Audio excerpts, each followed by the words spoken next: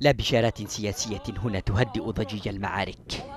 فعلى مبدأ العين بالعين تخوض قوات الجيش الوطني مرحلة جديدة من القتال ردا على انتهاكات الميليشيا لاتفاق التهدئة. في أروقة مشاورات الكويت يتردد صدى الحرب حيث تخيم ظلال قاتمة على أجواء المفاوضات. حصيلة صفرية لأيام من محادثات مباشرة وغير مباشرة.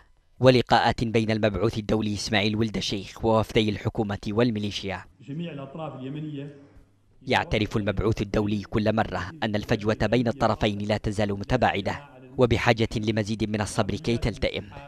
ولجأ ولد الشيخ أحمد لاستدعاء تدخل الأمين العام للأمم المتحدة بانجيمون لفك عقدة المشاورات غير أن حضوره لم يحرك من وتيرة المباحثات. حتى الآن فشلت الأمم المتحدة في ممارسة الضغوط الكافية التي تهيئ الأجواء اللازمة لإنجاح المشاورات. ونجحت فقط في وأد آمال الشارع اليمني وتطلعاته للسلام وجعله عالقا بين الحرب والخوف من المجهول. لا تهدئة سارية على الأرض ولا هدوء نسبي حتى لنافورة الدم التي أسفرت عن مقتل وإصابة نحو أربعين ألف شخص وفق تقديرات رسمية وأممية. كما أن آلاف المختطفين ما زالوا في المعتقلات ومن تم إطلاقهم خلال الأسابيع الماضية من تبادل لأسرى. جرى بعيدا عن المشاورات.